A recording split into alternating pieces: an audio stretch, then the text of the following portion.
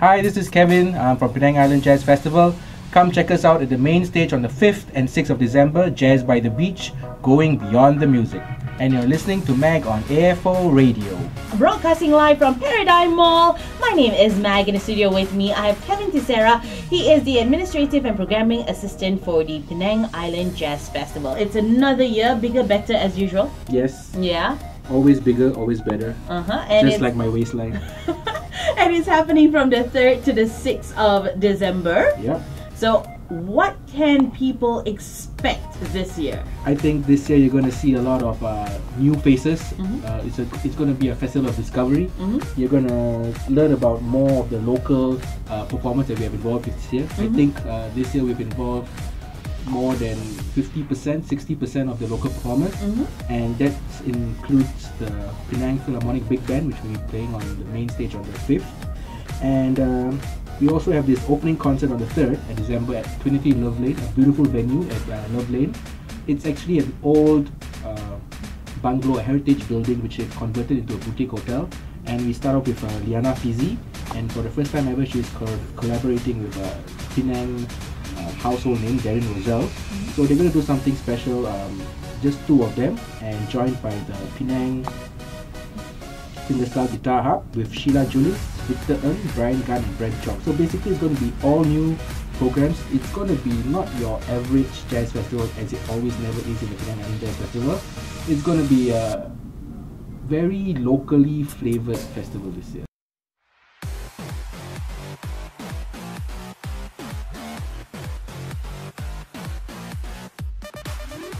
Now back for the 12th edition. It's more of a local flavor, but here's one question, Kevin.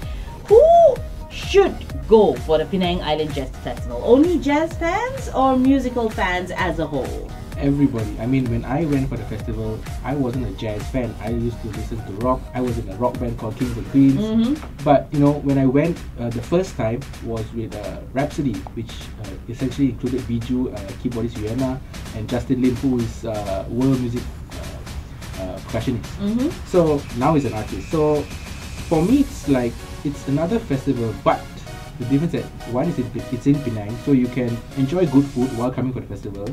Secondly, it's by the beach, and all the uh, festival activities are near each other. Mhm. So you could have like a really great date Mhm. if you had one, not like me. Speaking Uh, from experience here, no, no, I have I had a great date with myself, but I love the beach. with yourself and your guitar. Um, not my guitar lah, I'm just spoiled. But basically, it's it's a great environment to be in. I mean, how many festivals that Is by the beach, Yeah, right? exactly, right? You can get up early in the morning, take a walk on the beach, head to Tropical Spice Gardens, take a dip in the ocean if you know how to swim. Yeah, so you can tell I would swim. yep, and basically just have really good fun uh, away from the city. So anybody and anyone, anyone and everyone can actually go and enjoy whatever's lined up for the Penang Island Jazz Festival, isn't it? Yes, Now, the Penang Island Jazz Festival isn't your normal music festival. It includes a whole lot of workshops, a lot of talks. Also, you know, they've got fringe stages and a sun sunrise uh, performance as well. It's very different. It's a different flavor to a jazz festival, isn't it? Yes, essentially, uh, it's basically a festival where you wake up, there's music. Before you go to sleep, there's music. Or even if you don't sleep, the music starts right away after the last song finishes. So it fills your life with music. Yes. Nice.